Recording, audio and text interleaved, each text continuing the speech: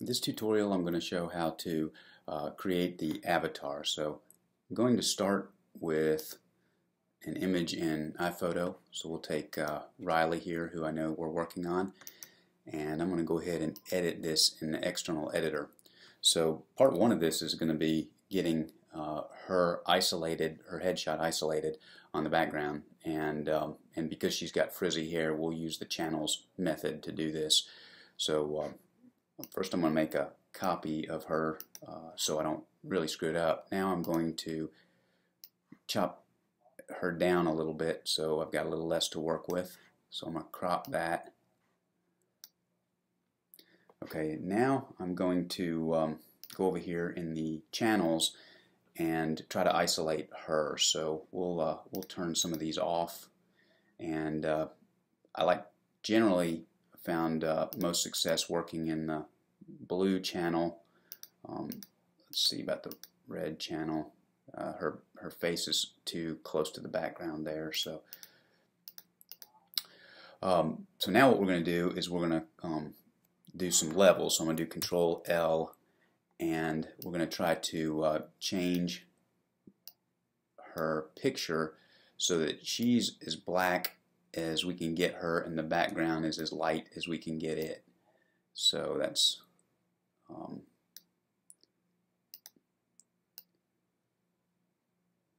okay, that's getting helpful and at best we get the edges of her um, black and then we can color in the rest. So that's probably that's probably pretty good.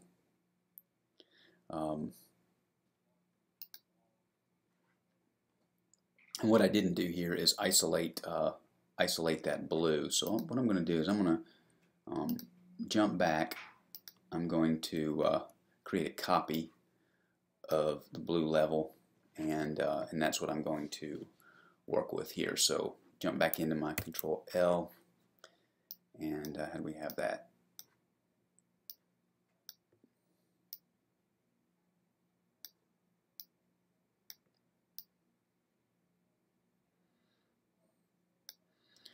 All right, so get there, and uh, I still want to pick up these areas of her hair so that we can isolate that.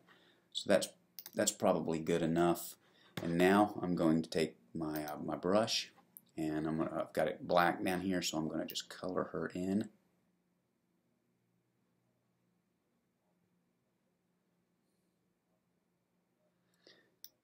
So in this mode, we're going to be able to isolate on the black and eliminate the white. So that's pretty good.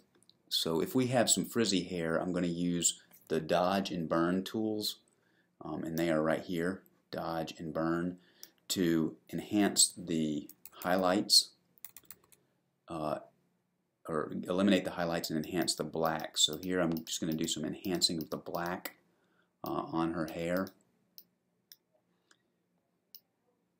And then I'm going to use the dodge tool to really get get rid of some of this background white or gray and make that as white as we can get it. Um, and so this requires a little bit of work. Um,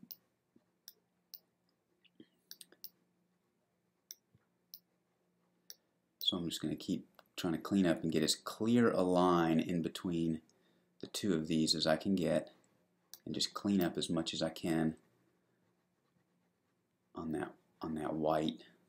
I could even use the brush here if I wanted to. So so now this should give us a pretty clean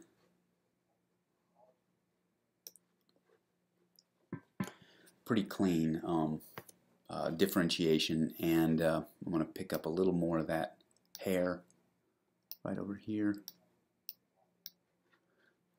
I don't want to do it too much, but uh, okay, so so now I'm going to deselect this and I'm going to um, hit Control Inverse. Okay, so now that we have her uh, isolated and inversed, we'll hit Command click on the blue layer, or the blue channel, and she's been highlighted. So I'm just going to turn all this back on. When to come over here to the Layers tab, and I'm going to um, inverse the selection and delete out the background. So now um, if I deselect we can see that uh, we've got a little bit of her hair showing through and the background's completely transparent. Now the next step, so I'll stop there for part one of the tutorial.